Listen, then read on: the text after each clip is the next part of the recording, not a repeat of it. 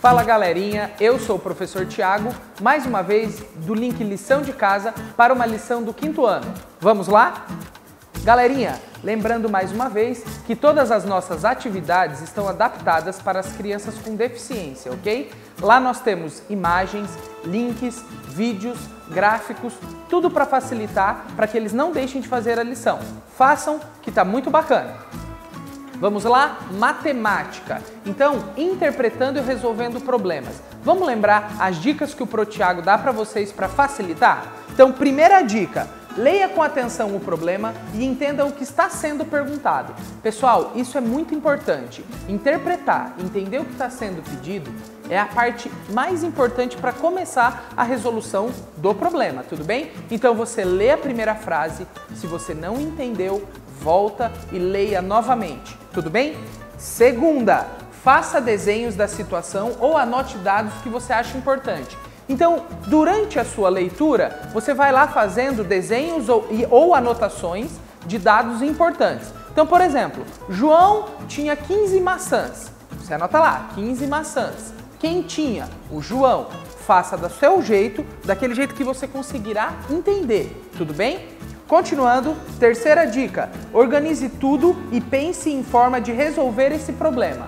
Ao fim da leitura, depois que você anotou os dados que importavam, para, raciocina, pensa como você vai resolver aquele problema. Tudo bem? Concentração é sempre muito importante. Dica 4. Utilize as formas que você escolheu para resolver o problema. Então lembra lá, o que o prof sempre diz, não tem um único jeito de fazer. Você pode fazer diferentes contas, diferentes formatos e até mesmo resolver mentalmente essa situação problema. Siga como é mais confortável para você, tudo bem? Última dica, reveja suas contas e de forma de pensar se estão corretas. Chama lá o irmãozinho, a irmãzinha, o papai, a mamãe, a tia, o vovô, a vovó, para te ajudar a repensar. Será que eu fiz certo? Será que eu fiz errado? Tudo bem? É sempre importante pedir a opinião de outro para poder entender os caminhos que você seguiu. Ótimo? Façam que está muito bacana. Continuando, ciências da natureza, compreendendo fenômenos. Então, aos longos das últimas semanas, nós estamos estudando esses fenômenos né, que existem na natureza ligados à ciência. Então, essa semana nós vamos falar sobre densidade, tudo bem? A nossa atividade, né, que é mais uma experiência, vai estar tá muito bacana e muito legal. O que, que vocês terão que fazer? Vocês terão que encher um recipiente com água, tudo bem? Pegar diversos objetos que você tem na sua casa. Então a gente tem aqui alguns exemplos: uma chave, uma colher, um clipes, frutas que você tem, tudo bem? Potes, o que você tiver na sua casa. E aí você vai fazer uma experiência muito gostosa. Você vai pôr separadamente, cada um na sua vez, um objeto dentro daquele recipiente cheio de água e você vai ver se ele afunda ou se ele boia. Tudo bem? Essa é a nossa experiência dessa semana, a primeira atividade. Tá, professor, mas o que, que isso tem a ver? O que, que a gente vai estudar então? Nessa experiência que vocês farão, nós vamos estar estudando sobre a densidade. A densidade ela mede o grau de concentração de massa. Lembra quando a gente fala de peso? Ah, isso está pesado. Ah, isso está leve. Lembra disso? Então, isso quer dizer o volume. Quanto mais volume concentrado, mais pesado. Quando menos volume concentrado, mais leve. E a densidade, ela vai afetar diretamente nisso. Por exemplo, lembra aquela bucha que você tem em casa de lavar louça? Se você colocar ela na água, imediatamente ela vai boiar tudo bem? Aos poucos ela vai absorvendo volume, ela vai concentrando densidade. Por quê? Porque ela chupa a água que tem ali naquele recipiente. Quando ela encher de água a bucha, o que, que vai acontecer com a bucha? Ela vai para o fundo do recipiente. Ou seja, ela ganhou volume, ela concentrou volume. Tudo bem? Isso é a Desculpa, isso é a densidade, tudo bem? Então fica muito fácil de entender com essas experiências que a gente vai fazer. A segunda experiência que a gente vai fazer é o que? Vocês farão um barquinho de papel. Professor, eu não sei. Lá nós teremos o passo a passo da dobradura, de como fazer um barquinho de papel, e aí nós vamos fazer a experiência novamente, de colocar ele no nosso recipiente com água. Vocês terão que fazer uma análise do que acontece com esse barquinho. Tudo bem? Façam, que tá muito bacana, é muito legal aprender brincando. Vamos para a próxima? Ciências Humanas História. Então, no dia 20 de novembro, certo? Nós temos uma data muito especial, ok? Que é a data da consciência negra.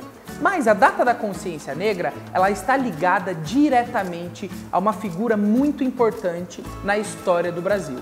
E essa figura é Zumbi dos Palmares. Tudo bem? Nós vamos entender um pouquinho agora quem foi Zumbi dos Palmares, como foi a sua vida, de uma forma bem rasa. E lá no material de vocês, vocês terão todas as informações para entender quem foi Zumbi dos Palmares, tudo bem? Então vamos entender um pouquinho quem foi Zumbi? Então Zumbi nasceu em 1655 em uma das aldeias do Quilombo dos Palmares, tudo bem? Por isso que vem o nome de Zumbi dos Palmares. Uma comunidade formada por escravos fugitivos. Galerinha, escravos é uma palavra muito forte. Então, ninguém nasceu escravo. As pessoas estavam em situação de escravidão. Nós sempre temos que lembrar dos negros na nossa história que eles estavam em uma situação de escravidão. Eles não são escravos. Tudo bem? Então é muito importante, toda vez que você vai tratar sobre negros na nossa história, nós sempre temos que lembrar, eles não eram escravos. Tudo bem? Eles estavam em uma situação de escravidão. Isso é muito importante, porque quando eles vieram da África, tudo isso lá, ninguém era escravo, não existia. A escravidão foi criada pelo homem branco, tudo bem? Então eles eram, eles sofriam uma escravidão, mas eles não eram escravos, ok? Vamos continuar? Então, Zumbi, ele foi capturado no Quilombo ainda criança, tudo bem? Pelos soldados da expedição comandada por Brás da Rocha Cardoso. Lembra lá o que eu disse? Zumbi estava lá no Quilombo. Professor, Quilombo, o que, que é Quilombo? Vamos lembrar um pouquinho o que é Quilombo? Então, Quilombo eram aldeias, eram povoados que os negros quando eles conseguiam escapar ou fugir, certo? Daqueles senhores que escravizavam eles, que mantinham eles em uma situação de escravidão, então eles fugiam e eles iam se refugiar, ó, nos quilombos. O quilombo era um lugar riquíssimo culturalmente, ok? Lá eles faziam a sua música, faziam todos os seus costumes vindos da África. Então era um lugar muito assim que recebia muito bem os negros, certo? Então eles ficavam lá escondidinhos. Volte e meia com essas expedições, ok? O homem branco, né, os opressores que iam lá, eles achavam esses quilombos que ficavam muito bem escondidos dentro das florestas, certo? Para despistar, para ninguém achar. E aí eles pegavam as crianças, as mulheres, os Todos aqueles que tinham força para trabalhar, eles pegavam e levavam de volta, e os que não tinham força para trabalhar, infelizmente, morriam nas mãos desses senhores, ok? Então é muito importante lembrar esses fatos tristes da nossa história, tá bom? Então Zumbi foi encontrado dentro do quilombo e levado para ser escravizado. Vamos entender o que aconteceu? Então, ele foi capturado no quilombo ainda criança. Imagine uma criança brincando e aí de repente chega lá um homem malvado, pega ele para forçar ele a trabalhar. Certo? Vamos entender? Pelos soldados da expedição comandada por Brás da Rocha Cardoso. Ele foi batizado, ou seja, ele foi entregue a um padre, certo? Que batizou ele, trocou o nome dele. Foi dado o nome para ele de Francisco. Imagina você, hoje, alguém chega na sua casa, te tira dos seus pais, chega lá e fala: Olha, você não chama mais João, agora o seu nome é Gabriel. Eu vou te ensinar tudo diferente. Tudo que você comia na sua casa, tudo que você aprendeu, tudo que você sabe, esquece. Agora é o que eu vou te ensinar. Uma situação muito triste, né, galerinha? Então, ó, aí ele foi batizado, aprendeu português e latim e recebeu o nome de Francisco. Olha só que absurdo. Aos 15 anos, ou seja, passou um tempo aí, tudo ele aprendendo lá com o padre, ele ensinando, ele tendo que trabalhar, certo? Ele sendo escravizado. Aos 15 anos, ele conseguiu fugir. Ele voltou para o quilombo de Palmares, tudo bem? E lá começa a saga de Zumbi, que é o que? Ele se torna o líder do povoado, tudo bem?